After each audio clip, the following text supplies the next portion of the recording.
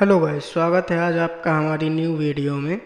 आज की इस वीडियो में हम आपको ट्रेनेक्सा पाँच सौ एम टेबलेट के बारे में बताएँगे, जो कि मैक्लियोट्स कंपनी द्वारा बनाई जाती है।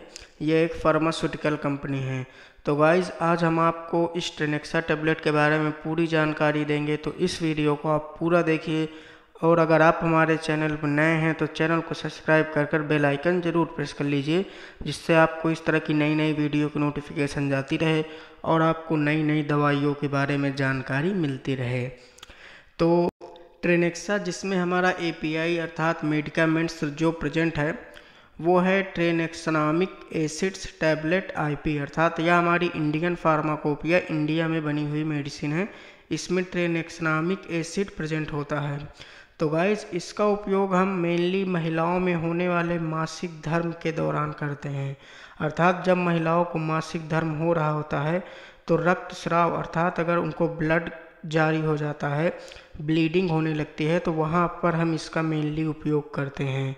और इसका उपयोग हम इस तरह महिलाओं में संबंधित मासिक धर्म से भी करते हैं।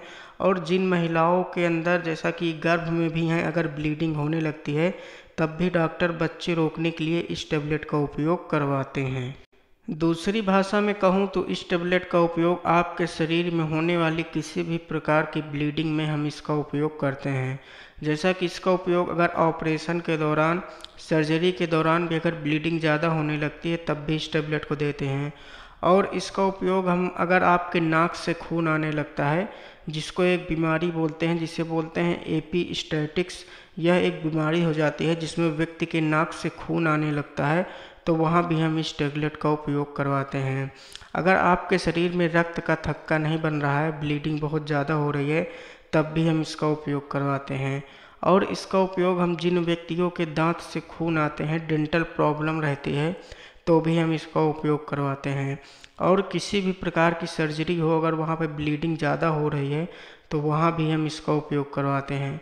और इसका उपयोग हम प्रोस्टेटिक सर्जरी अर्थात किसी व्यक्ति के प्रोस्टेट का ऑपरेशन हो रहा होता है, वहाँ पे भी ब्लीडिंग का खतरा ज़्यादा होता है, खून बहने का खतरा ज़्यादा होता है तो वहाँ भी हम इसका उपयोग करवाते हैं।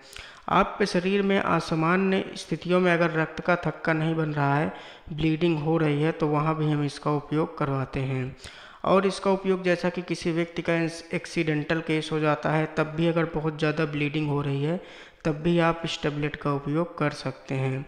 तो गाइज़ इस तरह इसका उपयोग हम मासिक धर्म में या दूसरी भाषा में कहूँ तो जैसा कि मैंने कहा कि आपके शरीर में किसी भी प्रकार की असामान्य परिस्थितियों में ब्लीडिंग हो रही है तो वहाँ पर हम इसका उपयोग करते हैं। और इसका मेनली योग इस प्रकार सभी प्रकार के मासिक धर्म में होने वाले खून जारी में और सर्जरी में, नाक से आने वाले खून में आपके शरीर के बाहरी रूप से कहीं भी ब्लीडिंग हो रही है, तब भी हम इसका उपयोग करेंगे। तो गाइज़ हमें उम्मीद है कि आज के इस वीडियो से आपको कुछ ना कुछ नया जानने को ज़रूर मिला होगा। अगर आप हमारे चैनल पर नए हैं तो चैनल को सब्सक्राइब कर कर बेलाइकन ज़रूर प्रेस कर लीजिए। Thank you